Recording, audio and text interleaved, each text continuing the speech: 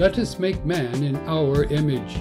So, there are how many gods?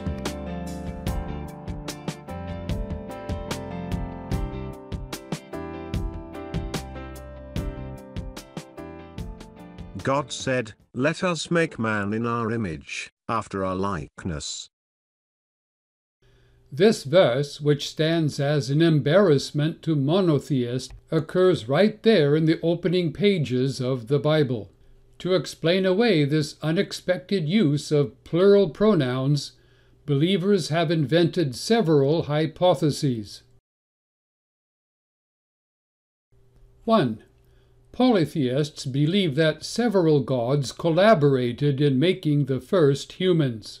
So, no problem, except that the Bible affirms elsewhere that there is only one Creator God. 2.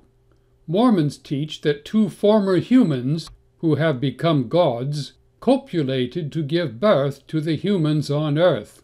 So, no problem, except that the Bible affirms elsewhere that God is eternal and that there will never be another God than He.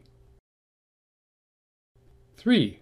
Some Jews explain that the one God is so great that only a plural pronoun suits his majesty. So, no problem, except that the Bible employs pronouns in the singular for God everywhere else. 4. Some Christians suppose that this verse reveals the Trinity. They are God the Father, God the Son, and God the Spirit who conspire to create humanity in their image. So, no problem. But for the facts that such language does not occur elsewhere, and the doctrine of the Trinity did not exist in the age when Genesis was written. 5. German scholars have reasoned that this verse is a fragment from an ancient religious myth that one of many redactors copied into an early form of Genesis. So, no problem except that no such older text exists, nor would monotheist Hebrews have permitted such a mistake. Sixth, recently, scholars and writers who have rightly abandoned Darwinist beliefs feel that Genesis preserves an ancient account of intergalactic travelers who brought their DNA to Earth. So, no problem except for the fact that neither science nor the Bible presents even a shred of proof for such a thesis. 7. More recently, scholars who have analyzed the most ancient Middle Eastern religious texts in their original languages have proposed another explanation for the plural pronouns in Genesis 1:26. God said, Let us make man in our image, after our likeness.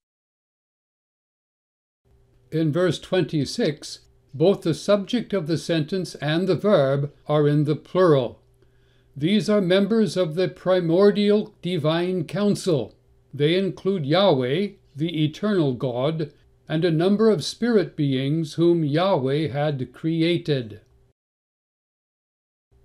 Of these spirit beings, the book of Job says regarding the creation of the world When the morning stars sang together, and all the sons of God shouted for joy.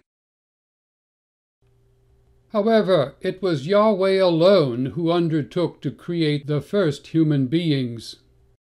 The Lord God formed the man of dust from the ground, and breathed into his nostrils the breath of life and the man became a living creature.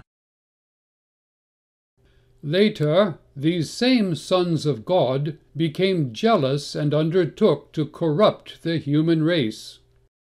The Nephilim were on the earth in those days, and also afterward, when the sons of God came into the daughters of man, and they bore children to them.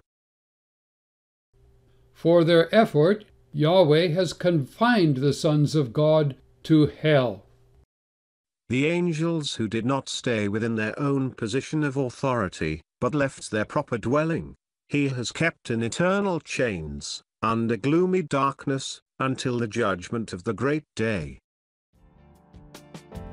The fallen divine council members are to be replaced by the true followers of Jesus, the unique Son of God. Those who are considered worthy to attain to that age, and to the resurrection cannot die anymore, because they are equal to angels, and are sons of God, being sons of the resurrection.